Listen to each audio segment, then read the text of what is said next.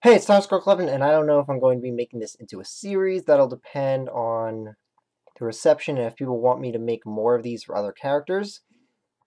But I wanted to talk about a build what has proven to be the most successful and optimal build for one of my favorite characters to use in Fire Emblem Three Houses, which is Petra. So this is an Avoid Tank crit machine build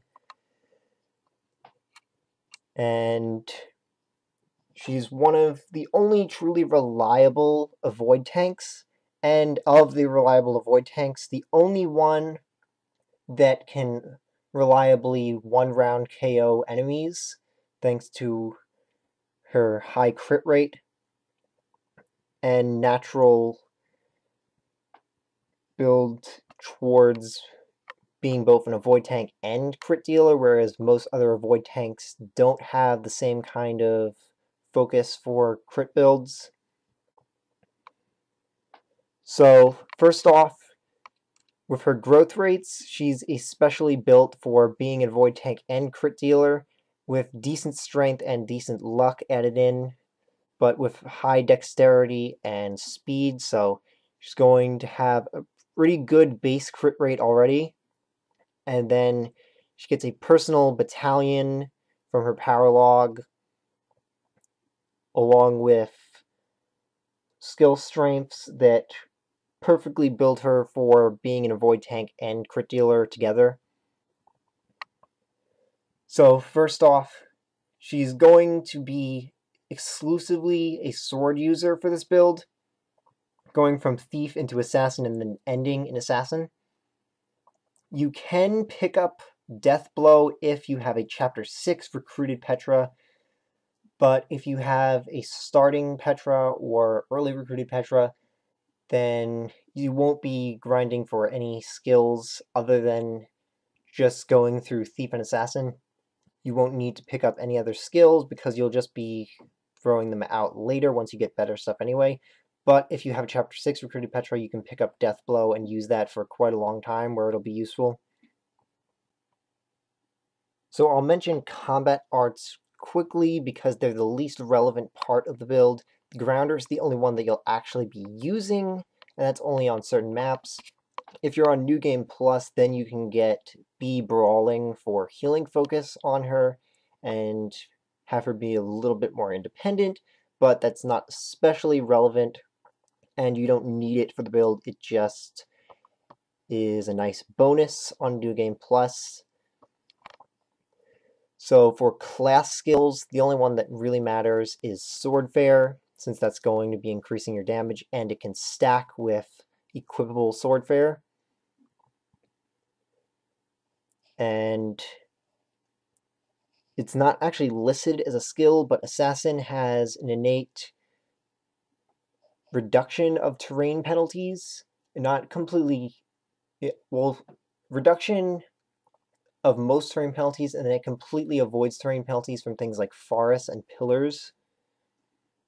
So it's going to be a lot more mobile than other infantry classes, and also has a very good speed and dexterity modifier to further complement what the build is going for. Assassin in general is pretty much built for being a crit dealing avoid tank, but Petra fits it the best out of anyone because of her naturally very high speed and dexterity.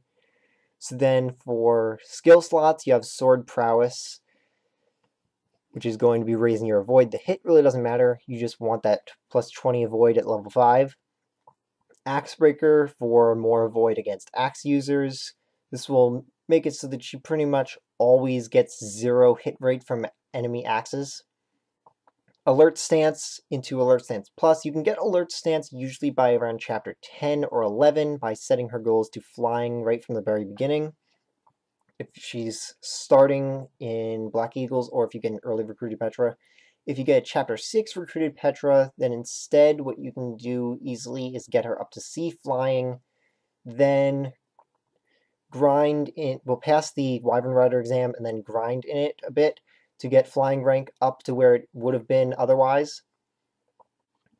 and usually only requires about one grinding map of using the rusted weapon trick to do that, and then she'll be back up to around B flying by chapter 10 or 11. And then Alert Stance Plus, you get A plus flying usually by chapter 18 or 19. And of course, since this is a build focused on being an avoid tank, you will go into enemy range, hit wait, and then let them come to you and get themselves killed. Then Sword Crit 10 for added crit chance, since that's going to be your main form of dealing damage.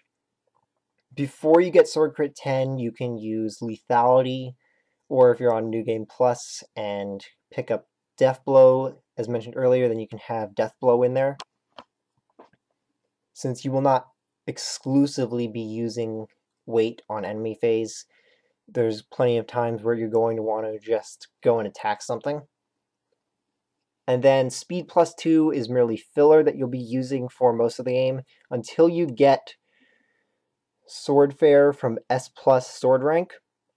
And since they stack with, since fairs stack, you will be getting a straight plus 10 damage between the two Swordfaires, which becomes plus 30 on a crit. Onto equipment, your main weapon is going to be the Cursed Ashiya sword that's from a chest in chapter 13 because this is the highest crit rate weapon in the game and it also has good might too. The recoil doesn't matter too much since Petra's focus will be on avoiding attacks altogether, so she won't be needing to be at high HP. And you can always just heal up after a couple turns of the recoil damage. I think it's a flat 5 damage every time, so it's easy to just heal that up. And it really won't matter too much since she's not going to be getting hit by anything but in situations where you really don't want to take that risk, you need to be safer, then you have the Wo Dao with 10 less crit and less might, but no recoil. And with her very high crit rate, the 10 less crit isn't going to make a huge difference. You're still going to be landing most crits.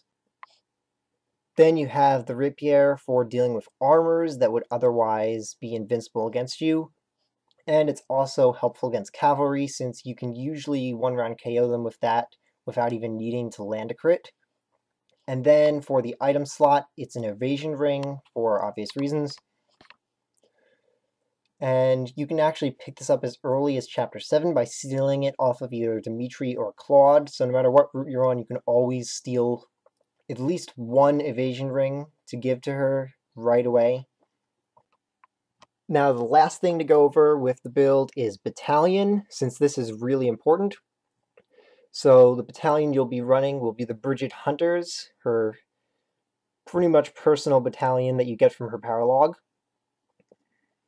So with Avoid plus 20 and Crit plus 10, it is the best battalion for both Crit and Avoid together, and further shows that she is intended to be used as an avoid tank and crit dealer.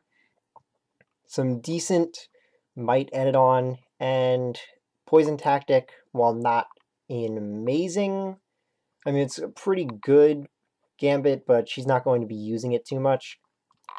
And probably won't have a especially good charm. Though I'll also mention that you should throw on at least one or two goddess icons to increase her luck and crit chance, which will also help with her magic avoid, and then throw on charm boosters to help her avoiding gambits. But if she doesn't get very good charm growths, then that would be a waste anyway, since she's not going to be able to avoid gambits and should just stay out of gambit range in the first place. It's only if she gets good charm growths you want to increase her charm to further improve her avoidance rate, rate against gambits.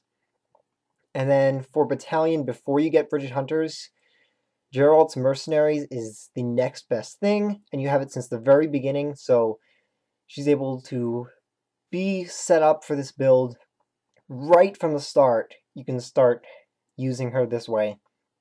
Jeralt's Mercenaries has less might and 5 less avoidance, so you will just be using that until you get Brigid Hunters, and it's pretty, it's really, really good for such an early game battalion.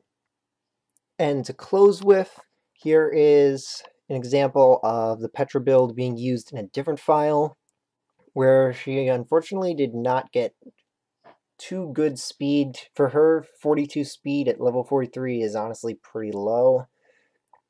But you can see her really high avoidance rate, which would be better if she had better speed. And her crit rate with the rapier, which is going to be around 45 points lower than it would be for the Cursed Ashiya sword. So add 45 to that, and then you'll see what kind of crit rate she'll normally be running by endgame with this. And that avoid rate is after alert stance plus, I believe. I've had files where she had about 10 higher avoid due to having higher speed there. And also skill ranks over there. This is from a New Game Plus file, so I also gave her healing focus from brawling, but it's not too important for the build, as I mentioned earlier. So then, if anyone wants me to do this for other characters, then comment what characters you want me to try doing a build video for, and I'll try to get to them, since if someone requests that, then obviously someone's interested. So, see you next time.